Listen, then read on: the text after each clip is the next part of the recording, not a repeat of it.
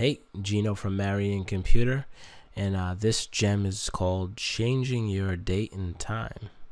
So, why would you want to change your date and time? Well, I guess maybe the date and time isn't right. Yeah, yeah, that's probably the best reason why.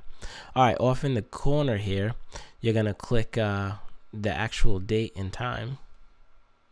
And then in here, you're going to see, uh, you know, the date and you're going to see the time.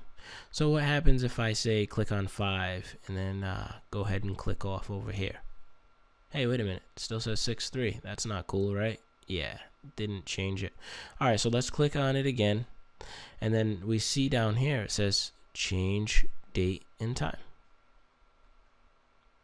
All right, all right, we're getting somewhere. We got a dialog box here. And uh, what we're going to do is uh, we're going to come down here and we're going to go to change date and time again. But wait a minute. I thought I already clicked change date and time. Yeah, probably got to click it again. All right, so we're going to click on that.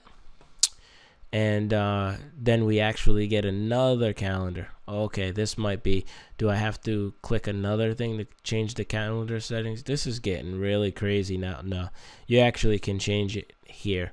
All right, so let's say we want to go Back to the Future, and we want to go to the seventh. And you know what? I think we should go to nine o'clock because that sounds a lot better. And then I'm gonna click OK. And then I'm gonna click OK. No, I'm not going to because this says Pacific time, but I'm on the Eastern because I'm East Coast gangsta. So I'm gonna click over here and then I'm gonna click OK. All right, now we're on the East Coast again. Oh, but wait a minute, man. It says 1243. We don't want that. You know what we want? We want to change this. And actually, you know what? We want 1043. Because that's, that's the actual time it is right now. Right here. While you're waiting. Click OK. And uh, that looks about good. It's not June 8th, though. But we'll just act like it is and then we're going to click OK. And now the date and time, has been changed. So let's click on that again and let's get, you know, another look at that. All right, so we wanted to change the date and time, so we click this. And we wanted to change the time zone, and we click that.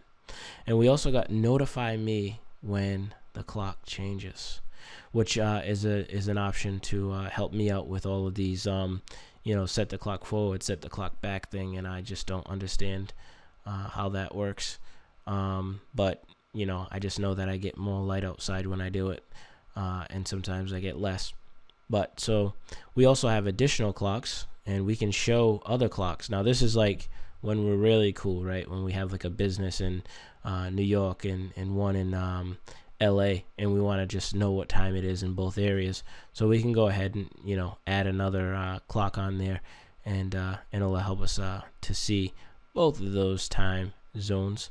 And then this internet time, right? What is this? This is when I can actually be cool and synchronize my time with Windows time uh, network uh, NTP uh, server, which will actually, you know, keep me uh, exactly where I need to be. Uh, so that way I don't have to actually put it in there myself.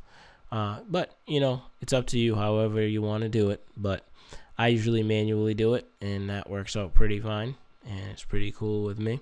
But there you go. That's the date and time. Uh, then again, my name is Gino from Marion Computer.